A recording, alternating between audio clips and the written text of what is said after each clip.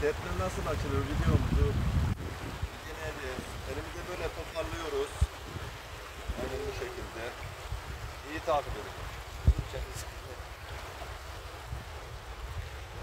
Elimize bu şekilde toparlıyoruz. Görüyorsunuz. Evet bak bu şekilde aynen. Şu elimizle orta şeklinde alacağız. Bir daha alıyoruz. Mesafesine getiriyoruz. Sertmen biraz büyük de. Şimdi böyle ortadan ayırıyoruz.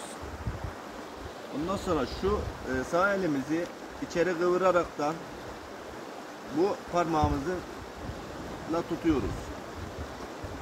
Bu şekilde arkadaşlar. Şimdi bu sertmeyi aynen bu şekilde düz olacak bir şekilde bu parmakla birlikte böyle ağzımıza takılmayacak bir şekilde koyuyoruz. Ondan sonra biraz elimizi alıyoruz. Ve bu kadar yeterli. Bakın arkadaşlar. Şimdi de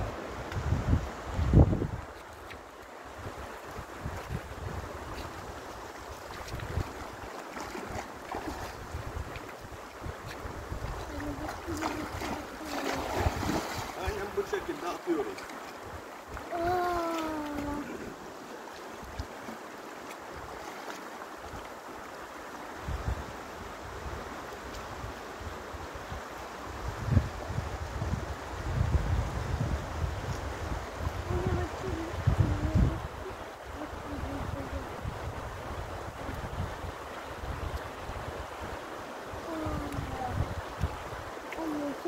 De balık olmasa da aslan yapardık. O ne? İyi günler.